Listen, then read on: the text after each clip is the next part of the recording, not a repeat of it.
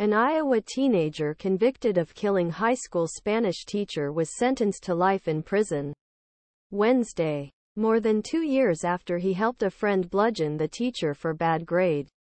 Choose your plan arrow right Jeremy Goodale, 18, was sentenced to life prison with the possibility of parole in 25 years for his role the November 2021 of 66-year-old Fairfield High School teacher Nohema Graber.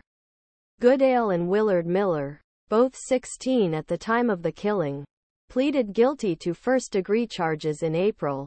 Prosecutors said Goodale and Miller planned to kill Graber because Miller had failed his Spanish class and his bad grade was keeping him from participating in a study abroad program. Two students followed Graber while he was walking in a park in Fairfield, Iowa, and beat him to death with a stick.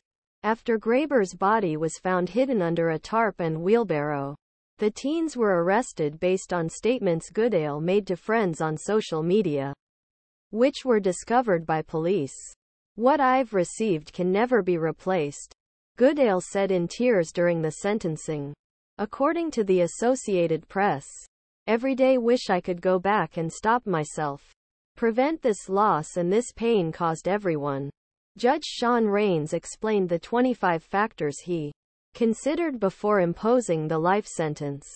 While Judge said Goodale needed significant rehabilitation, Rains noted that the teen showed more remorse and took more responsibility for his actions than Miller and that Goodale agreed to testify against his friend if case went to trial.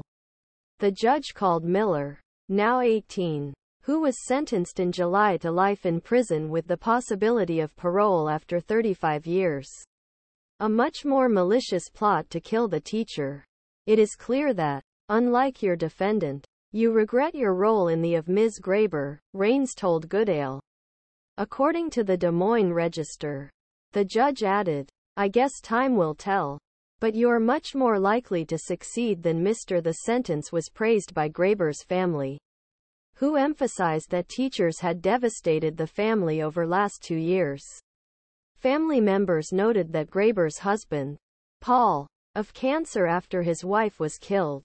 It disturbs me that the last face Nohema saw in this world and the last words she heard were Mr. Goodale's. Prosecutor Chauncey Moulding told Register he was pleased with the sentence and added that he believed Goodale was remorseful for I believe Jeremy committed one of the most heinous acts we have ever seen in Jefferson County. But that does not mean who he could have become with the right treatment and programming, he said. Nohema Graber moved from Mexico to Fairfield, a small Iowa town about 100 miles southeast of Des Moines, in 1992 and earned her teaching certificate.